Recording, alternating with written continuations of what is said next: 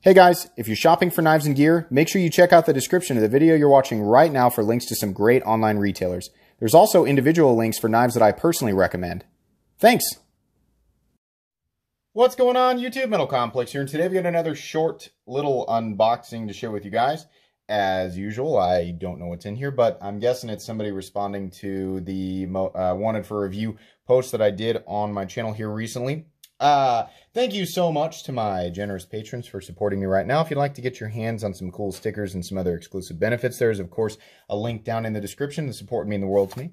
And please follow me on Instagram at metal underscore complex. Okay, let's go ahead and just cut these out right there. Make that quick cut. There's a cut right there. Okay.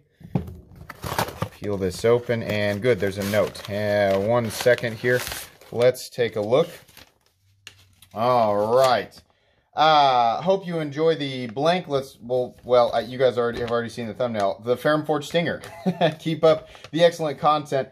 Thanks. And this is from Dirk. Thank you so much, Dirk. Um, this is a different Dirk than you guys have uh, previously heard of on the channel. Um, but uh, yeah, I, I, spoke with him and he's an excellent person. So thank you very much, Dirk. Now, um, this is uh, new. This is a brand new thing. Um, I happened to catch a glimpse of it on the on Blade HQ. I'll link this down below, by the way, so you guys can pick this up for yourself.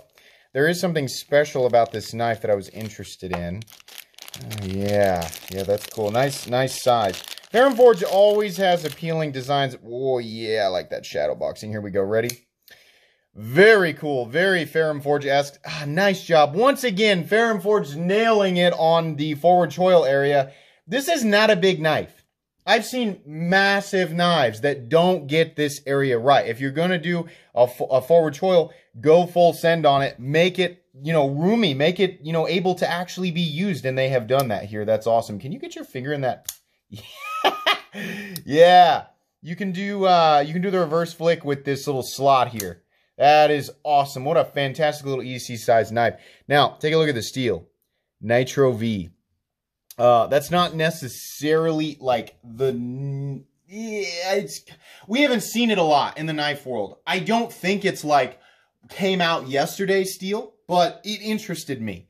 Um, this is uh, this is an interesting little EDC knife, and I think the fact that it's using Nitro V is worth taking a look at. I don't think these are very expensive either. I think they're just under a hundred bucks. So there'll be links down in the description where you guys can check this out. I know a lot of people picked it up. I uh, I made mention of this on my Instagram uh, just because I thought, hey, cool, Ferrum Forge design, um, looks nice, and they're using a steel that we don't normally see uh, in the knife world. So yeah, I thought this was um, I thought this was really really interesting.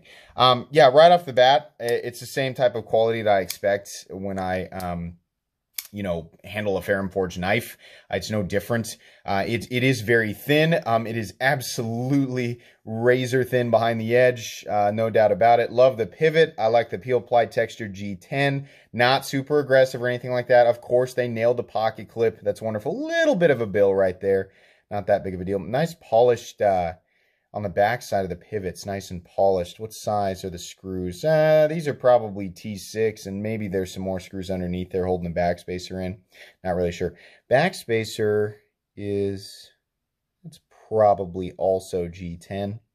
Um, this is a right-handed liner lock only. Um, action is very snappy, very smooth. Um, and actually, yeah, it's kind of a wiggle shut knife.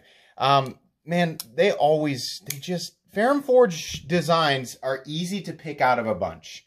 You can always tell when it's a Ferrum Forge knife, but they manage to be just different enough between the designs that you feel like you're getting something special every time. Like it's it's it's somewhat similar, but then it's also got its own unique thing going on. I'm a big fan of that little slot right there. I'm catching my fingernails a bunch, right? But those fullers, when they're in exactly the right place, they allow you to do that reverse flick. No hope of a forward flick on this guy. No way, unless you want to shred the tip of your fingers off. Uh, but uh, light switch or push button flip, no problem. That is super, super cool. All right.